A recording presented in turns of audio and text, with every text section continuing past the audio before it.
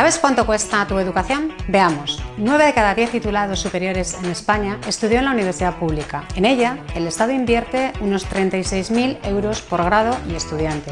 Estos estudiantes seguramente llegaron a la universidad a través de la educación pública, que acoge al 94% del alumnado español. Eso serían 6 años de secundaria a 7.000 euros por año y otros 6 de primaria a 5.500 por año y estudiante. Antes seguramente pasaron por la educación infantil, que tiene una inversión pública de más de 5.000 euros por alumno y año. Y es que, entre unas cosas y otras, España invierte uno de cada 10 euros de gasto público en educación. Cada persona nacida en España tiene una inversión educativa de 61.000 euros por parte del Estado si solo cursó la educación obligatoria. De 110.000 euros se acabó la universidad y entre 75.000 y 100.000 euros se optó por la formación profesional. Esto sin contar con la educación infantil, para que luego digan que el dinero de los impuestos no está bien invertido.